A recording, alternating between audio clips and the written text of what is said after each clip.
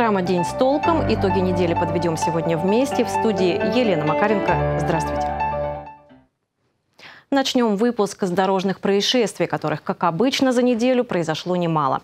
И сразу несколько с детьми.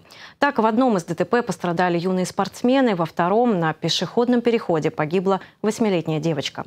13 ноября на Павловском тракте произошло массовое ДТП. Водитель трактора в состоянии алкогольного опьянения выехал на полосу встречного движения. Столкнулся с иномаркой и микроавтобусом. В результате аварии пострадали пассажиры автобуса, десятилетний мальчик и его тренер контейнер. Второе ДТП произошло на следующий день, 14 ноября. На улице Аванесова погиб восьмилетний ребенок. Девочка вместе с бабушкой переходила дорогу по нерегулируемому пешеходному переходу. В этот момент 33-летний водитель иномарки сбил пожилую женщину и ее внучку. Врачи скорой боролись за жизнь девочки, однако спасти ее не удалось. Водитель задержан, решается вопрос об избрании меры пресечения. По данному факту сотрудниками полиции проводится проверка, которая стоит на особом контроле у начальника Главного управления Министерства внутренних дел России по Алтайскому краю генерал-лейтенанта полиции Андрея Подоляна.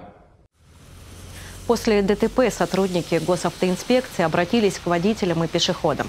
Первых они призвали снижать скорость при подъезде к пешеходным переходам, Вторым – проявить максимальную внимательность и осторожность, особенно в темное время суток и в непогоду. Добавим проверить организацию безопасности дорожного движения, а также поставить на контроль ход расследования уголовного дела о гибели ребенка в Барнауле поручил прокурор края Антон Герман. Больше 10 человек, которые находятся в федеральном розыске, задержали на неделе на пунктах пропуска Алтайского края за два месяца. Речь идет о пунктах пропуска в Колундинском и Рубцовском районах. Среди задержанных есть и иностранцы, разыскиваемые за преступления, связанные с наркотическими средствами, подделкой документов и за преступления, связанные с действиями сексуального характера в отношении несовершеннолетнего ребенка. Как сообщают в пресс-службе пограничного управления ФСБ по Алтайскому краю, некоторые злоумышленники уже несколько лет скрывались от правоохранительных органов. Все задержанные переданы сотрудникам полиции. Двое воспитателей детского сада «Хэппи Бэби» получили реальные сроки. Напомним, несколько лет назад вскрылось, что в элитном детском саду издевались над детьми. Их душили, закрывали в комнатах, лишали еды. Это лишь часть того, что происходило в стенах сомнительного заведения. Начиная с 2018 года родители пострадавших детей добиваются, чтобы жестокие воспитательницы и заведующие получили реальное лишение свободы. Тему продолжит Ирина Корчагина. Педагогический коллектив снова в сборе. Заведующая Воротникова, воспитатели Нагих, Чигрова, Плотникова. Больше пяти лет назад они прославили барнаульский детский сад «Хэппи Бэби». Камеры видеонаблюдения зафиксировали более 300 эпизодов издевательства над детьми. На кадрах малышей пинают в живот, швыряют, зажимают лицо подушками, закрывают в темных помещениях. В декабре 2021 года Центральный районный суд Барнаула огласил приговор воспитателям. Но вместо реального срока подсудимые получили условные. Дальше была апелляция, которая не удовлетворила родителей детей. В ноябре прошлого года суд кассационной инстанции в Кемерове вернул приговор в Барнаул. И снова родные стены помогли. Последняя кассация в Кемерове уже в этом году опять отправила приговор на пересмотр. То, что произошло сегодня, удивило всех участников процесса. Основное наказание, назначенное по пунктам А и Г части 2 статьи 117 Уголовного кодекса Российской Федерации, до трех лет, двух месяцев лишения свободы с отбыванием наказания в исправительной колонии общего режима. Взять ногих под стражу в зале суда.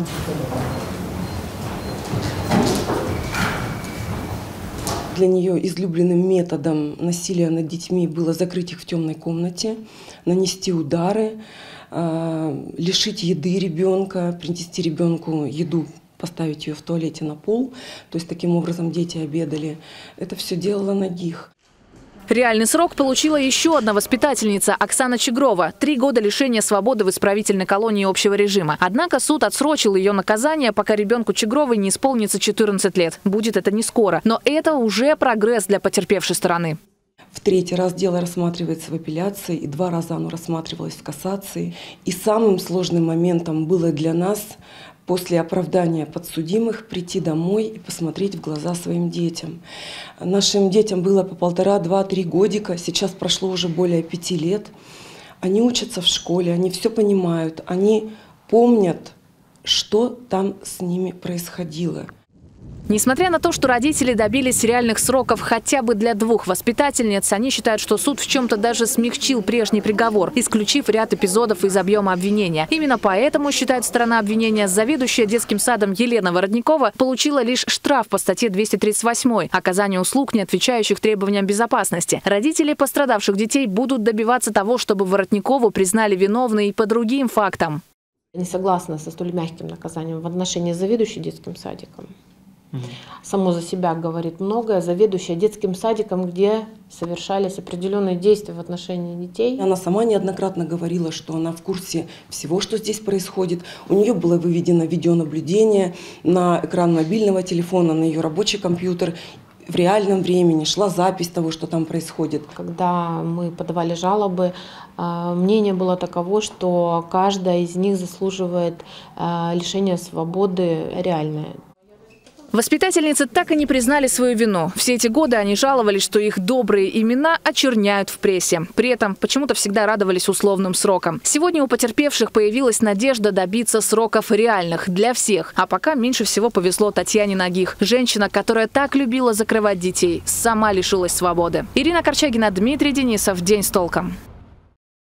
Стало известно, насколько может подорожать коммуналка в Алтайском крае. Правительство страны утвердило предельный рост тарифов ЖКХ на 2024 год. По каждому субъекту устанавливается свой индекс. В нашем регионе предельное подорожание услуг ЖКХ составит 14,2%. Новые тарифы начнут действовать со второго полугодия. Напомним, в апреле Владимир Путин заявил, что индексации тарифов ЖКХ в ближайшие полтора года быть не должно и объявил об отсрочке тарифов до лета 2024 года. Таким образом, последний раз коммуналку повышали в декабре 2022 года. Все объекты малой теплоэнергетики в Алтайском крае получили паспорта готовности к отопительному сезону. Об этом не без гордости сообщил региональный министр строительства и ЖКХ Иван Гелев. Впрочем, исключения есть, и они традиционные – Яровое и Алейск. Еще один успех, по мнению министра, то, что впервые за многие годы все котельные подключили к электроэнергии еще 1 сентября, несмотря на долги. Означает ли это, что наш край абсолютно готов к зиме, расскажут мои коллеги. Все объекты малой теплоэнергетики к положенному сроку получили паспорта готовности к зиме. В Алтайском крае такого давно не было, не стал скрывать эмоции министр строительства и ЖКХ региона Иван Гелев. 15 ноября была крайней дата, когда котельные должны решить все вопросы. Аутсайдеров два, но к малой энергетике они не относятся. Это Яровое, где паспорт не выдали из-за масштабной модернизации ТЭЦ, хотя работает она по плану, и Алейск, где котельная принадлежит Минобороны, документы доделывают. Камень оби официально готов, но край ему помогает с сентября. Там 28 миллионов рублей, чтобы купить 7 тысяч тонн угля. Угля до сих пор нет. Деньги там, но угля нет. И? И как они топятся? Но нормативного, вот так скажем, нормативного угля нет. Там, там тысячу, там тысячу, там мы дали уже, наверное, что получается, 1900-1600, там 3,5 тысячи. А, ну, так и топятся.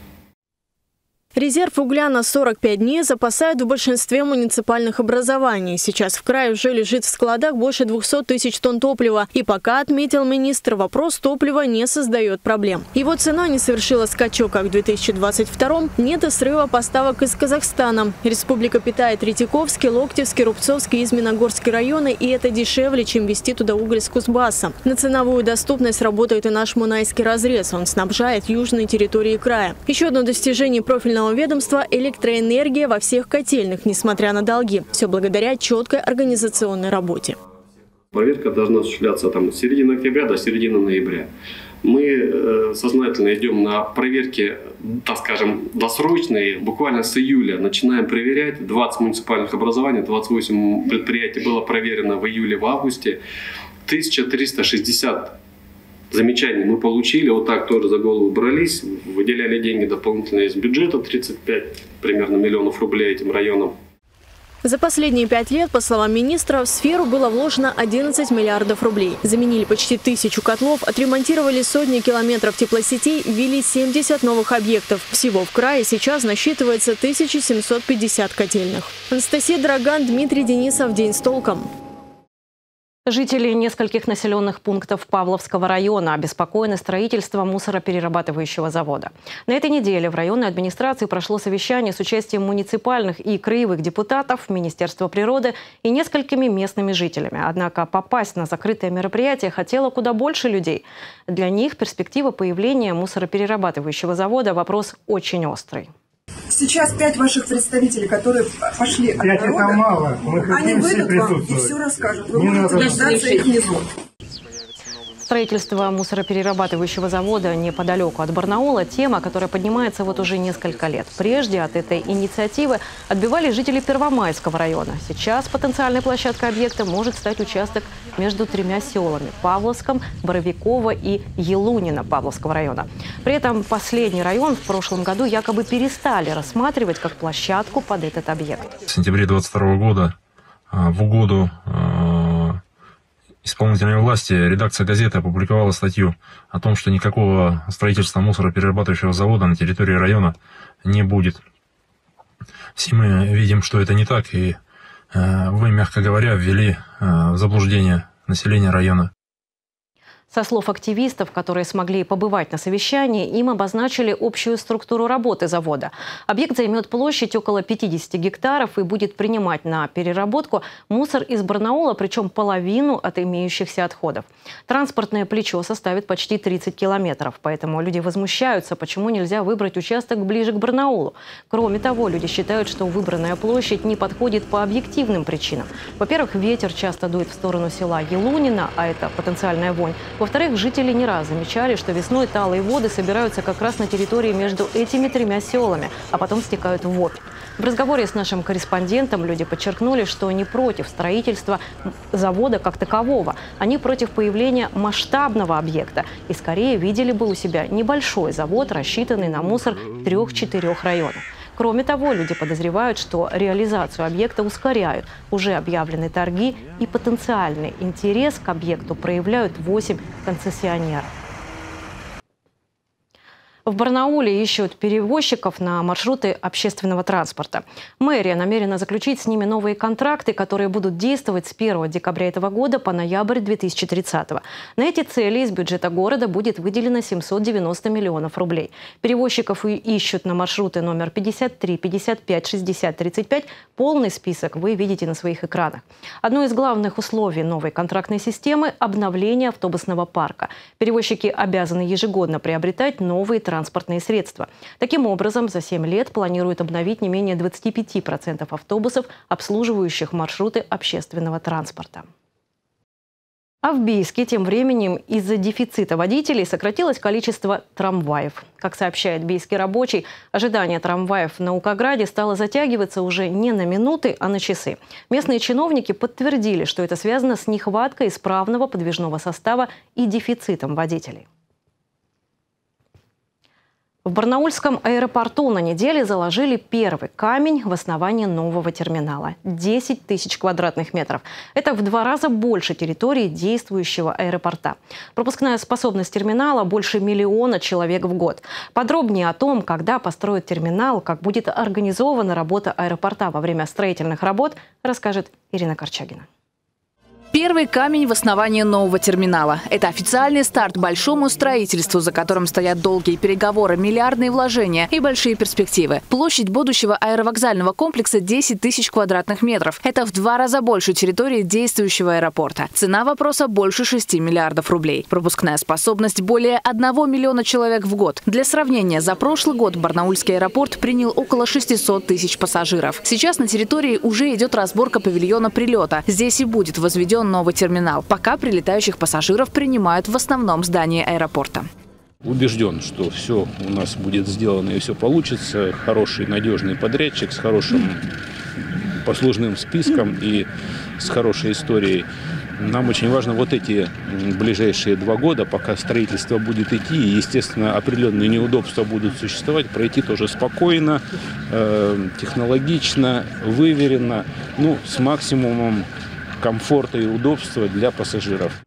Документ о реконструкции аэропорта губернатор Алтайского края и гендиректор компании «Новопорт» подписали в марте прошлого года. Отметим, «Новопорт Холдинг» владеет частью акций авиапредприятия «Алтай». Что уже известно о новом терминале? Здание будет трехэтажным, разделенным на несколько зон. Пассажиры смогут пользоваться лифтами, эскалаторами. Еще появятся телескопические трапы. Пройти в самолет можно будет прямо из здания аэровокзала.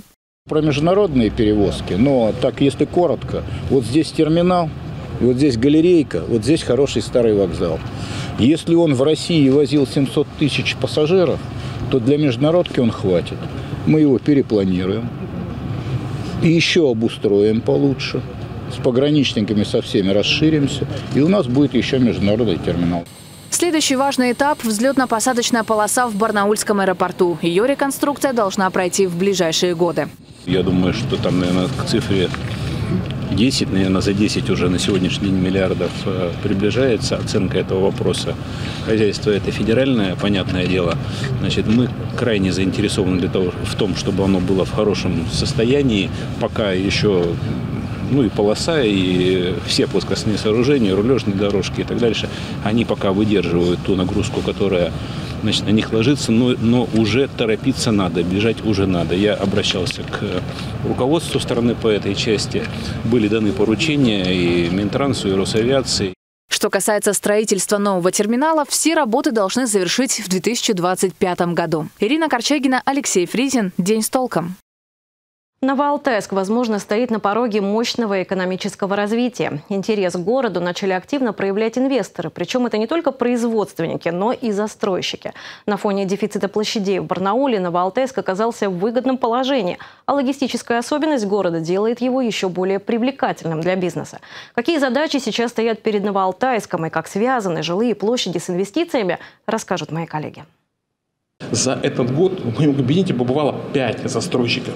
5 застройщиков. Такой интерес строительной сферы поражает даже мэра. Новоалтайск уже становится привлекательным городом для ипотек. Для покупателей дешевле, чем в Барнауле, для застройщиков больше свободных площадей, и их количество увеличивают.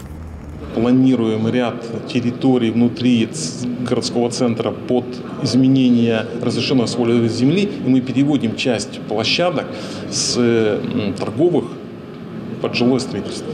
Город может построить жилья и малоэтажного, и немалоэтажного на 60 тысяч жителей. За два года здесь ввели почти 100 тысяч квадратных метров жилья. Осталось решить одну большую проблему. В городе нет принятого плана застройки. На Новоалтайске был забыт градсовет. Его реанимировали в этом году, а на первой встрече представили эскиз многоэтажки на месте, где должен был появиться торговый центр. Пока норм застройки нет, власти дают застройщикам ориентиры. В первую очередь это дома до 16 этажей не менее переменной этажности, это дома компактные, э, точечные дома, дома башни. Тот, кто сейчас какую-то новую, э, новое веяние все внесет, да, то есть какую-то новую идею, новую кровь, да, то есть он будет по большему счету задавать какую-то определенную планку. Хорошая инфраструктура. Во-первых, здесь ритм жизни немножко другой, да, то есть здесь э, по большему счету удаленность объектов, она низкая, да, то есть все объекты находятся рядом. Город испытывает интерес с двух сторон, и, по мнению главы, это параллельные процессы от застройщиков жилья и предпринимателей. Новоалтайск – крупный транспортный узел Сибири. Практически в городе расположена развязка дорог на Новосибирск, Кемерово, Бийск Барнаул. А местная сортировочная железнодорожная станция входит в десятку крупнейших в стране. Поэтому скоро в город может зайти крупный инвестпроект логистический центр, который уже сегодня представили проект, который уже сегодня его защитили, который уже сегодня ведут переговоры по прокладке новой железнодорожной ветки. Они хотят получать со всего мира а, железнодорожные контейнера, перегружать их на транспорт и начиная от, э, скажем, Красноярска и до Ирана вот эту вот территорию вот всю захватить. Еще один важный проект связан с производством природного газа, а другой создаст в городе 9 тысяч рабочих мест. Известно, что это объект крупного российского маркетплейса. Менее масштабными, но не менее важными проектами станут заводы глубокой переработки зерна и фермерской продукции. Кривая экономического развития Новоалтайска плавно идет вверх. Здесь функционируют три крупных промпредприятия. Алтайвагон, хлебокомбинат, Диас Машинери. Зарегистрировано 10 резидентов ТАСЭР. Власти признают, что неразвитая инженерная инфраструктура мешает входу крупных инвесторов. Однако в этом направлении эксперты и советуют искать точки роста, в том числе с помощью северного обхода Барнаула. Северный обход, который бы мог э, связать город Барнаул, особенно его, скажем так, вот индустриальную зону, э, которая примыкает к Волосихинскому индустриальной площадке, да, с э, Новоалтайской площадкой, да, промышленной. В городе Барнауле сегодня катастрофически не хватает площадей для промышленного производства. Связать Барнаул и Новоалтайск предлагают и для жителей легкорельсовым транспортом. Но этим предложением вряд ли займутся в ближайшем будущем. Сейчас власти и эксперты должны определить, по каким правилам Новоалтайск будет развиваться и для жизни, и для бизнеса. Анастасия Дороган, Алексей Фризин. День с толком. Алтайский край одним из первых среди регионов России вынес на всеобщую дискуссию проблемы участников боевых действий и семей погибших защитников Отечества. Публичное обсуждение провели во время круглого стола среди межведомственных организаций региона. Главная проблема, которую выделяют общественники, это неравномерное наделение льготами участников боевых действий.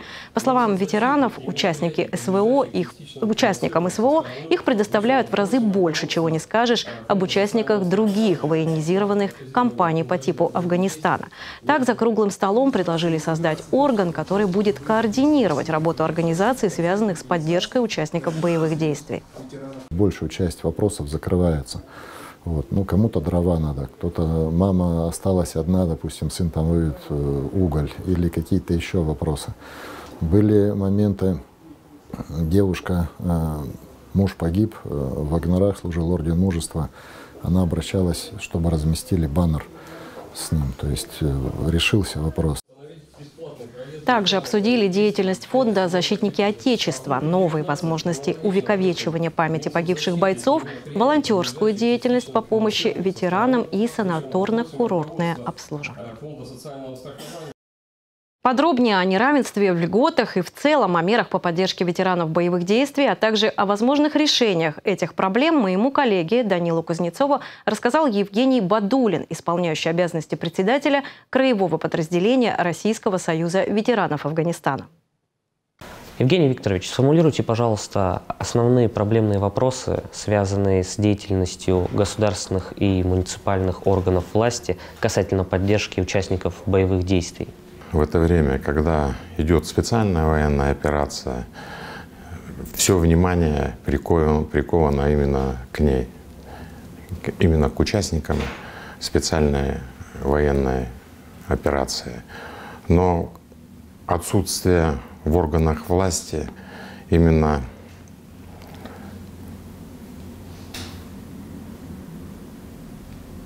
именно направление, связанное государственного, да, с ветеранами боевых действий, с ветеранами боевых действий, это э, ну, ставит, так сказать, определенные трудности по работе с ветеранскими организациями и с ветеранами боевых действий, потому что они, получается, разделены сейчас. Есть ветераны СВО, но ушли на задний план ветераны Афганистана, ветераны Северного Кавказа, где тоже многолетние были войны. И хотелось бы, чтобы в государстве, в государственных органах было что-то, как планировалось многие годы, что-то, например, министерство по делам именно ветеранов, которые целенаправленно занимались бы работой э, с ветеранами, с ветеранскими организациями, которые имеют многолетний опыт. Каким образом в Алтайском крае решают проблемы, возникающие у участников боевых действий? Пока никак. Вообще? Ну вот, например, приняли закон Алтайского края, там депутаты, льгота освобождения от, автомобиль, от налога на автомобиль. автомобиль до 100 лошадей. У нас «Лада» 106 лошадей. Но почему, например, Ивана или там Петра с дальнего района, у которого нет автомобиля со, до 100 лошадей, но у него есть единственное средство транспортное, на чем он кормит семью, зарабатывает трактор. Почему не освободить его от налога, вот именно его трактор или машину, газик какой-то? Поверьте, у ветеранов боевых действий немногие, э, так сказать, кто э, имеет, э, так сказать, 96% они не богатые люди. Как начал свою работу фонд «Защитники Отечества»? Они только начали работать. И еще раз скажу, что их функционал сейчас консультативный характер деятельности. Это как вот у нас единое окно, куда приходит человек, а это просто сделали пока единое окно для решения вопросов ветеранов боевых действий и э, ветеранов СВО, не ветеранов боевых действий, СВО. Потому что, еще раз скажу, придет ветеран боевых действий Афганистана, там, Северного Кавказа, но ему там ничего не расскажут. Его просто культурно так скажут, ну вы не ветеран СВО. Евгений Викторович, обозначьте, пожалуйста, основные направления увековечивания памяти участников боевых действий. Ну, приоритетные направления вот в нашей организации. Мы, во-первых, занимаемся восстановлением именно надгробий, могил ребят, например, э, ветераны Афганистана, у которых уже родители умерли, да, и могилы остались бесхозные. Вот совместно мы э, с администрацией края мы участвуем в грантовых мероприятиях, связанные э, губерна... губернаторские гранты выделяются на именно на восстановление могил.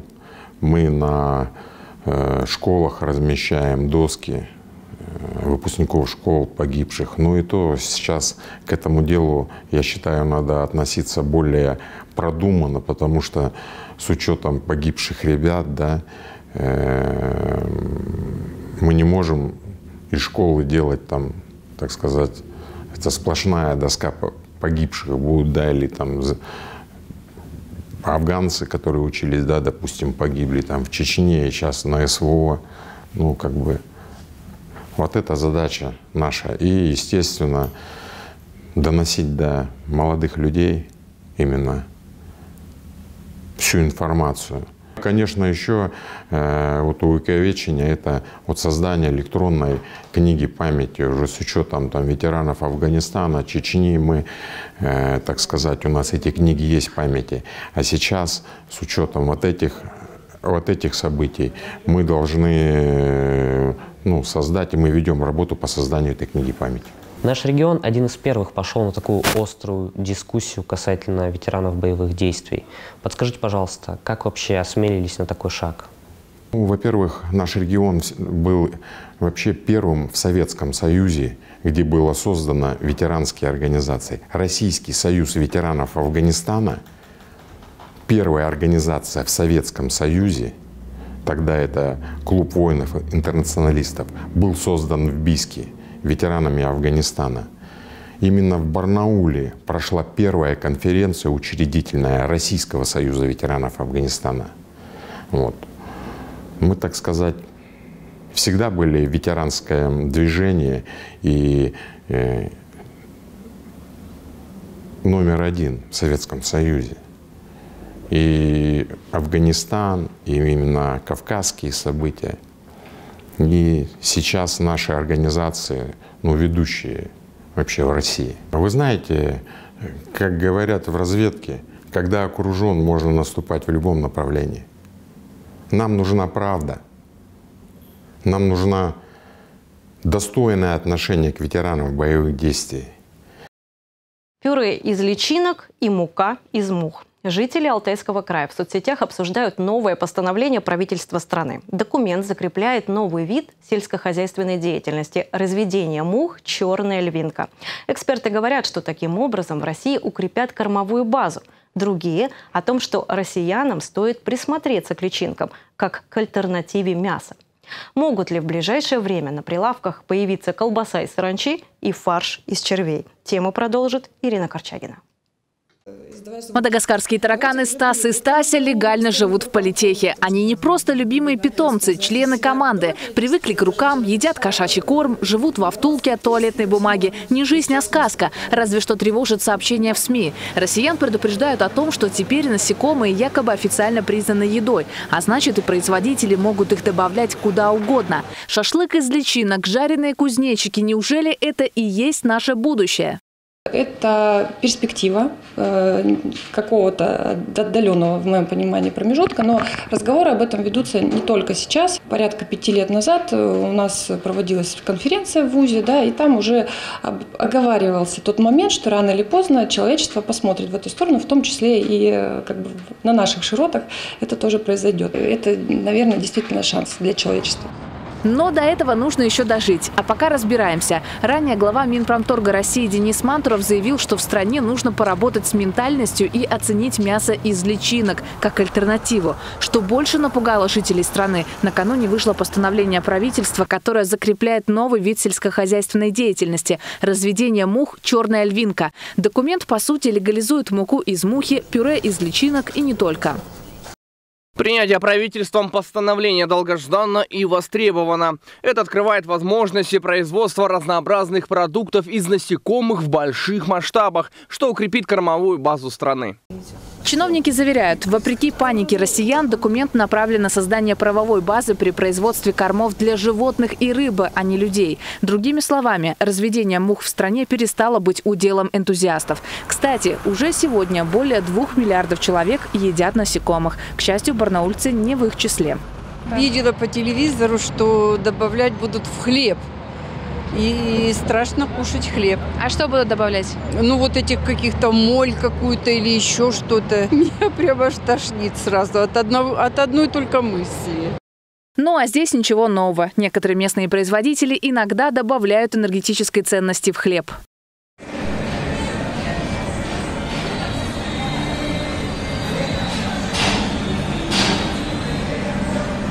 Не могли бы себя там э, пересилить и вот съесть там какой-нибудь тараканчика? Нет, нет.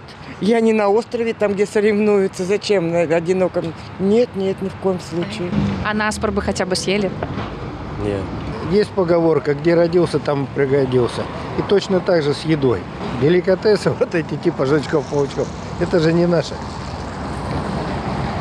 Нам что, сейчас тараканов собирать по квартире, что ли? Ну, если будет вынуждено, то будем есть, если на то пошло. На самом деле многие люди даже не догадываются, что уже давно употребляют насекомых. Например, встречали ли вы когда-нибудь добавку Е120? Это кармин. Ее можно встретить в тортах, молочной продукции, в колбасах. Все, что имеет такой красноватый или розовый оттенок. Еще одна известная добавка Е904 – шелак. Это продукт жизнедеятельности насекомых, а именно червецов. Шелак является глассирующим агентом. Его вы можете встретить в дроже, конфетах, жвачках и не только. Кстати, ученые говорят, что ежегодно каждый из нас съедает около килограмма насекомых нечаянно, через крупу, овощи и даже кофе. Пожалуй, пока на этом и остановимся. По-моему, у человечества гораздо больше других серьезных проблем, чем метаться между тем, съесть ли там, такое мясо или другое мясо. Ирина Корчагина, Алексей Фрейзин, Андрей Печоркин. День с толком. И в завершении выпуска. Ралли-трейд «Шелковый путь» пройдет через Алтайский край в 2024 году. Маршрут юбилейного 15-го заезда включает в себя и Барнаул. Известно, что стартует ралли 5 июля в Томске. Оттуда караван отправится на юг Сибири, в Барнаул, затем в Горно-Алтайск. Село Кошагач будет последним российским пунктом маршрута. Затем «Шелковый путь» пройдет через Монголию. Ключевой точкой там станет старейший город Хофт. Финиширует ралли в китайском городе Хоргас 15 июля. Общий километраж гонки почти пять с половиной тысяч километров, причем большая часть из них – скоростные спецучастки. Организаторы называют маршрут довольно сложным. Участникам придется преодолеть тайгу, горы, пустыню Гоби. Но тем интереснее будет наблюдать за ралли-трейдом. И на этом у меня все новости. Спасибо всем, кто нас смотрит. До свидания.